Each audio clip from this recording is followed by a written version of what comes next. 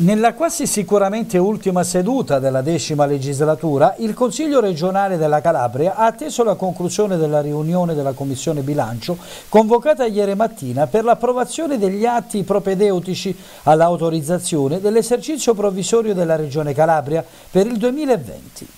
Poco dopo le ore 17.30 i lavori dell'Assemblea sono iniziati ed è stata una seduta veloce. Approvati dunque il rendiconto relativo all'esercizio finanziario 2018, l'assestamento e provvedimento generale di variazione del bilancio di previsione per gli anni 2019-2021 con il parere positivo del Collegio dei Revisori dei Conti.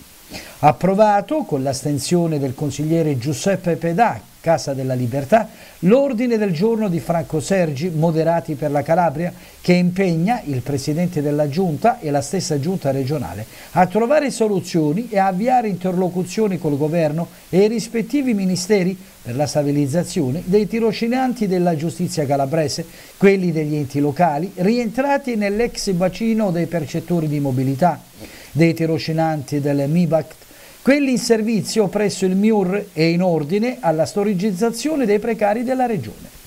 Per Gianluca Gallo, della Casa della Libertà, una risposta va comunque data. I tempi, dice, per il riempiego di questi lavoratori sono lunghi, abbiamo accumulato gravi ritardi, spero che questo ordine del giorno contribuisca a velocizzare i tempi Giuseppe Aieta ha evidenziato la necessità di soffermarsi e discutere più approfonditamente di questo argomento, mentre Giannetta di Forza Italia ha stigmatizzato che arriviamo in ritardo nelle cose che contano nella regione Calabria. Carlo Guccione del Partito Democratico, che pur dando merito alla proposta di Franco Sergio, ha affermato che il Consiglio arriva lungo su un argomento che testimonia la mancanza di questa esperienza di governo in tema di lavoro Bisogna fare un'operazione verità, ha ribadito l'esponente del PD Guccione, per fare un'operazione su questo fronte resta il fatto, ha concluso, che consegniamo questo documento alla prossima legislatura come promemoria al prossimo Presidente.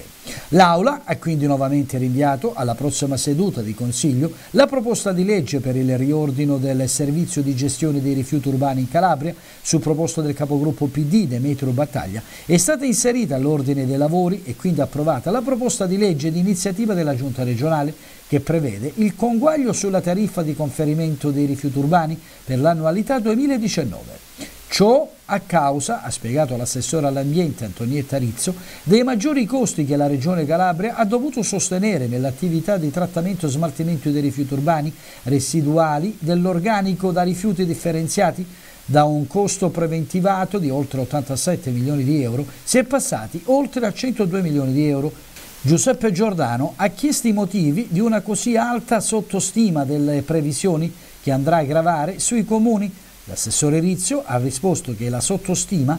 è dipesa dall'esplosione del sistema Roma che ha creato l'emergenza invadendo tutte le discariche e fatto aumentare i prezzi di mercato.